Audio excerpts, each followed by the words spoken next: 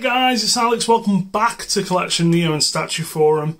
And just following on from my last review, which you should have checked out, which is my was the uh, Mega House Kamen Rider One Ichigo um, Ultimate Article statue. I did mention in that review that I am kind of settled on Tokusatsu and go- specifically Godzilla, Kamen Rider, and Ultraman to be a big part of my collection.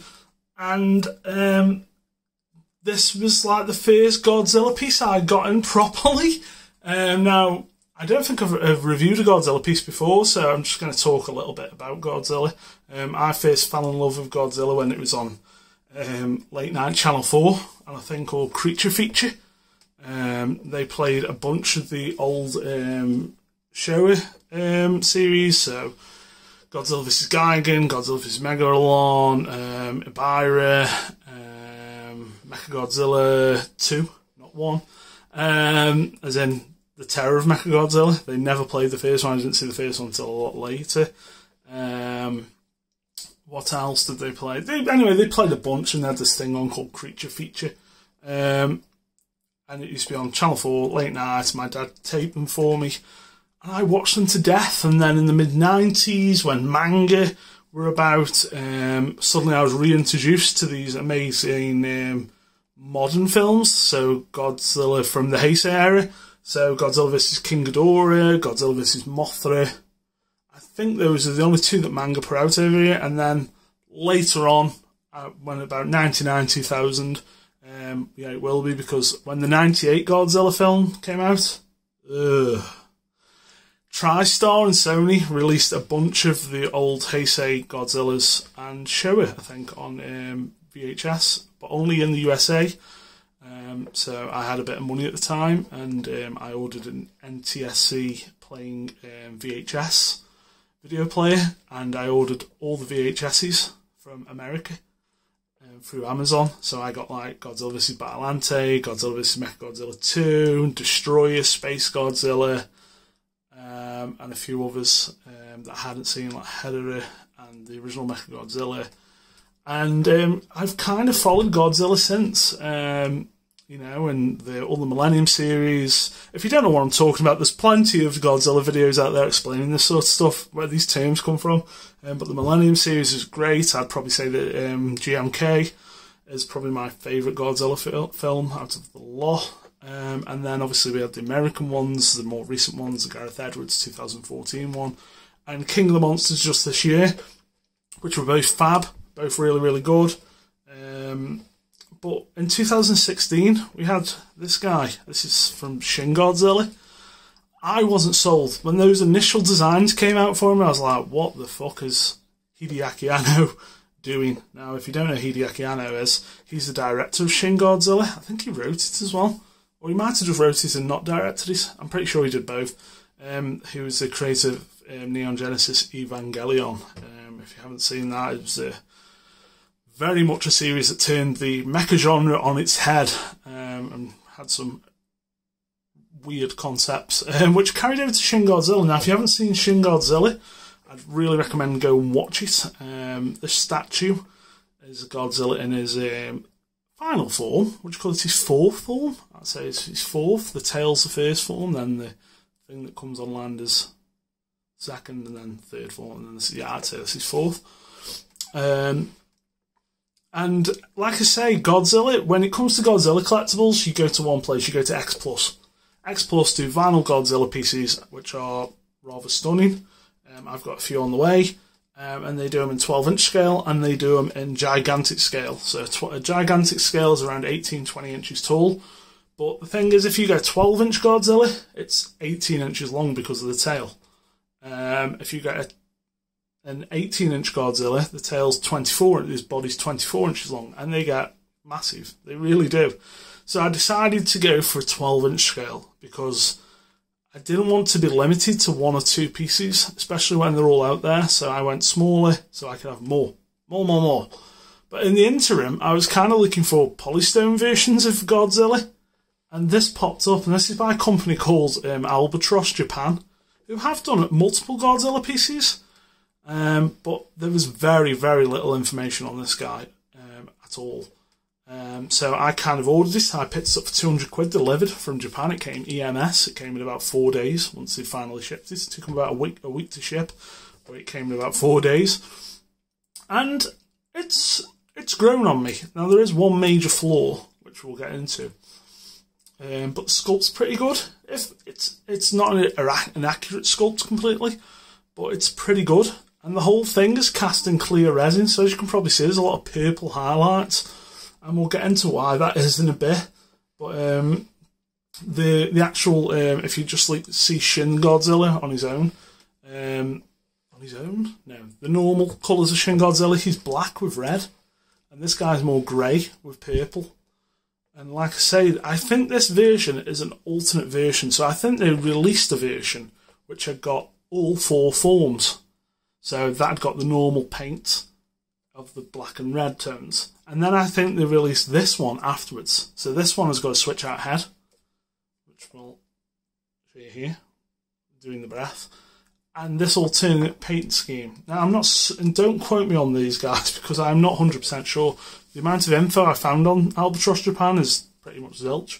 The amount of info I found on this particular statue was very little. Uh, I think um, think the site was called Kaiju Battle had a bit of info on it, but they were just like prototype pictures.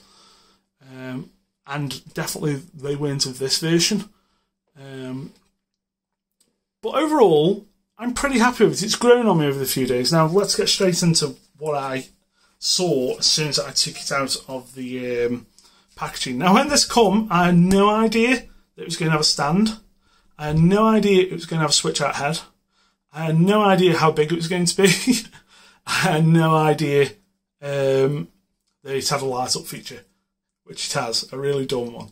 Um, also, kind of cool. And like I said in the Rider video, I'm a fucking sucker for a gimmick, and this guy's got a gimmick. so, first things first, let's just go over the, the fucking elephant in the room. Can I do a bit of a zoom on the camera? Yes, I can. This head seam is awful. It's just awful. so, as you can see, all the body's made out of a clear resin. Let's just zoom out a bit. All the entire body is made out of clear resin, and so is the head. Now, the sculpt on the head isn't too bad, and the paint isn't that bad. You know, his eyes are all that tiny. But when that goes on there,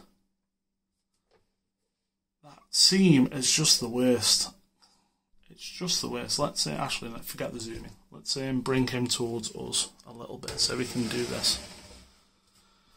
The seam reminds me of um, Sideshow Hulk. Now, if you, any of you had the green or red premium format Hulk, the newer one, you'll know what I'm talking about. Eek. And the problem is, it's not so much a seam, it's the fact that this hasn't been painted properly. It's like they've done a gradient so you've got clear resin showing here, and then the head isn't paint isn't painted in that gradient. So you just completely see the seam now. If I switch heads, this head is actually at a slightly different angle. That one's a little better, but the jarring it actually fits better, but the jarring thing is still there. That there's no paint here, and it goes into this dark grey paint. Now on display, like the sideshow premium format Hulk, a lot of people have got that guy on display.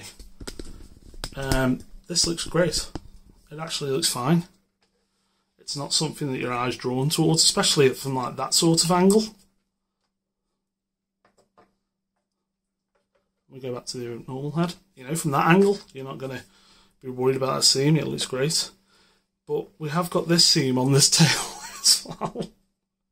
Which I can understand. The tail's huge, by the way. Godzilla himself is about 11 inches tall. The tail goes up to about 20 inches. You know, this is part of the design. I think it's bigger than um, it should be, but I think, um, like I say, Albatross Japan have done like a stylized design on Godzilla. Really, um, if I'd paid now, this this thing is on eBay for like four five hundred quid, and no joke. Um, if I'd paid that, I'd be probably livid. But for two hundred quid, I think it's alright. It, it kind of brings me joy because it's such a little fucking odd thing. it's such an odd oddity. And what I'm going to do, guys, I'm going to pause. I'm going to go low. We'll start at the base. We'll work his way up, we'll go up the tail, and then I'll show you this ridiculous light up feature. So here we go guys, just starting at the bottom, as you can see, very simple base, Godzilla 2016 on the front. Just a black base. Nothing about it, there's no buttons, no switches on it, because why would you want to turn your light up on with a button or a switch on top of here or around this side? No, no, no. So the actual light up switch is underneath, so I will have to pick the statue up or I will have to drag it back off the end of here just so I can get a finger underneath and it's an afterthought. It must have been an afterthought because why would you design a light up feature that has you have to lift the entire statue to turn it on and off? Beggars belief. So let's move up a little bit. Like I say, this odd statue guys, really odd. Um, sculpt here on the thighs is actually pretty good, and the paints aren't too bad either. Um, like I say, I think because it's got this clear resin underneath, all this should have been like a dark red. But because, like I say, this is like the special effects version, um, it's just like a purple clear resin. Because if you don't know when Godzilla does his breath and Shin Godzilla, it's actually purple. Um, which is actually, weirdly enough, based on Prince. Because I think Prince had died that year. And so they did Godzilla's breath purple. It's an amazing scene. It's probably one of my favourite Godzilla scenes in any of them. Um, but yeah, so we've got this purple thing going on, but as you can see, the sculpt's pretty well detailed and the paints aren't too bad. Don't get me wrong, they could be better. But hey, that's the world we live in. And then a bit higher up, we'll get right up to that seamy head. And as you can see, the hands very much showing the clear resin. It's like they've made a, you know, a conscious choice not to paint certain parts. I've got to say the spines with all the purple in them look really, really good. Because again, if you haven't seen the film, spoilers, um, he shoots his this laser that comes out of his mouth comes out of his spines and it comes out of his tail as well. So they've carried that purple through. Now what it feels like that they have done is stuck the tail on from the normal one rather than this one. I mean it is kind of there. I suppose it would be a deeper red. But it's definitely, as you can see, more red running through the tail. Like I say, it's an odd and weird statue. And obviously you've got this seam line here where the tail connects because they are not going to put this into one piece. But that's not too bad. You know, that one's I can forgive compared to the head. And like I say, the head sculpt, it's not bad. Paints could be a lot better. But, you know, we are working on a budget here, guys. So 200 quid. I don't mind. And then, like I say, you've got the alternate head when he opens up. That's actually pretty well done in the inside. The teeth are picked out okay. There's definitely seen worse. But you're not talking like a NECA fucking figure paint job here. It's better than that. And then, of course, with this head on, you get like the different angle. So the angle head's up. And it totally works actually with that head on. It really does. Is that seam, man should be heard and not seen. Is that work? Not really. um, and then, like I say, you got this huge, huge tail. And so what I'm going to do is just pop this off. There is magnets in it. And there's the um, tip of the tail. Obviously before the final transformation. And that isn't great. Paint's okay there. But um, it's an odd statue. It's one of them statues where I'm like, First, when I first got it out of the box, I was like, "Oh my god, what the fuck have I spent my money on?" Um, and then you know you find out that the button for the light up's on the base, and but you didn't even know there was a light up, so does it matter?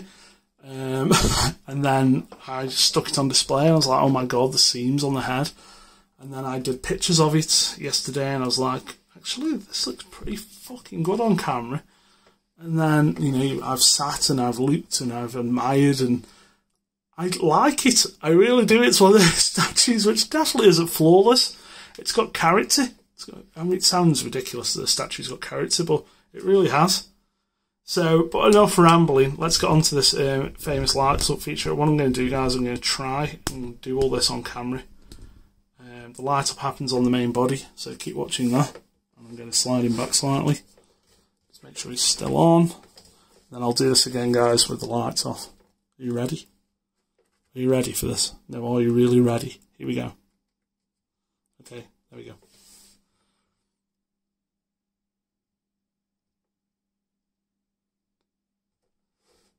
And that's your sequence. Now, I'm sure you can see straight away, it looks pretty fucking cool in the body, and the purple looks brilliant. That, if it could stay on that, I'd be so happy, but it doesn't. But here's the problem. The gap on the head, it feels like that should have gone into the head. So it was like charging his breath up. But no, they didn't go for that. But apart from that, it's quite cool. I'm going to turn the lights off so we can see a bit better.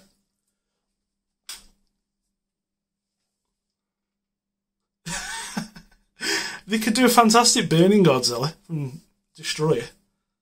But I really like the blue. The blue's brilliant. The purpley blue. And then even this bit's pretty cool. It's just if it just went into the head, it'd be fine. It would be nice as well if it went a little into the tail, but it doesn't. But the purple looks great. Like I say, I didn't know it had this feature. And it's in such an awkward place, I'll never probably use it again after this review. Just to show people. But I do like the flashing there. It's it's pretty cool. I've got, it's really grown on me, this piece has. It's a weird thing. I've only had it a few days. I'm kind of glad I didn't just like jump into a review straight away because it would have been mostly negative. When really it's the little statue that could. it's not it's not a bad thing at all. Like I said, if you can pick it up for I've paid for, it's it's pretty cool. There's better Shin Godzillas out there, 100%. You know, um, the X Plus one for starters, I'm sure. But um, I like this as a novelty. As a novelty little piece with the stupid light up. I do like it. I'm not going to tell everyone to buy it. I'm not even going to tell anyone to buy it, you know. But I think if you want an odd Shin Godzilla statue with a bad, with a couple of bad seams and a goofy light up feature, don't look any further than this, guys. um, so that's about it for this guy. Like I say, he was 200 quid. I'm happy with him, man. I'm happy with him. I can live with the faults, and I probably will pick up an X Plus um, um, Shin Godzilla, and if I do, I'll definitely bring this guy back for a comparison. Um, and I have got other X Plus PCs coming in, so I will be reviewing them. Um, I've got some other Rider PCs, um, nothing for Ultraman yet, kind of waiting for the next Prime 1 piece from them. Um, and that's it, I'll just see what comes. Um, main pre orders still like Guyver 3 and um, Ornstein from First Figures and Guts from First Figures and um, Sarutobi and King Enma from um, Naruto from Oniri Creations. Um, so we've still got some big boys coming in, guys, but a few little goofy, weird, strange reviews thrown in at the same time. Um, and yeah, I'll be back soon with another review, guys. So um, thanks for watching. Goodbye from me. Goodbye from the weird Shin Godzilla statue. And we'll um, see you next time. Bye.